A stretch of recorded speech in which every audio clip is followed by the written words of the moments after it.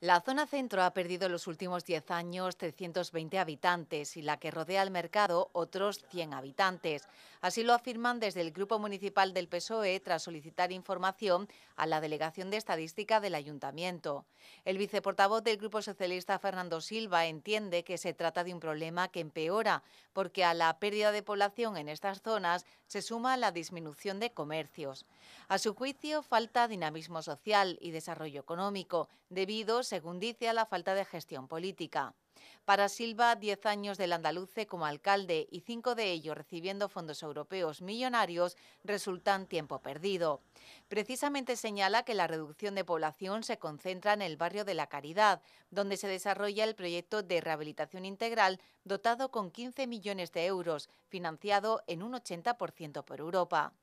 Los socialistas consideran necesario profundizar en el estudio poblacional y comercial y, sobre todo, tomar medidas urbanísticas y fiscales para dar respuesta a esta situación, que además se ha agravado a raíz de la pandemia del coronavirus. Silva insiste en que la gestión del equipo de gobierno se basa en la propaganda y no ha servido para la recuperación social y empresarial de esa zona.